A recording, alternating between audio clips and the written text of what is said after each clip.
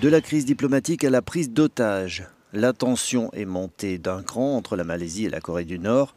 Après l'expulsion de l'ambassadeur nord-coréen, c'est toute l'ambassade qui est bouclée. Les Malaisiens pensent en effet que trois personnes impliquées dans l'assassinat à Kuala Lumpur du demi-frère du leader coréen Kim Jong-un s'y sont réfugiés. Nous avons donc signifié l'avis à l'ambassade et nous attendons. Nous attendrons le temps qu'il faudra. S'il faut attendre cinq ans, nous le ferons. Quelqu'un finira bien par en sortir. La réponse de Pyongyang ne s'est pas faite attendre. La Corée du Nord a interdit toute sortie de son territoire aux ressortissants malaisiens, soit 11 personnes, alors que pour l'instant, deux personnes ont été arrêtées dans le cadre de l'enquête.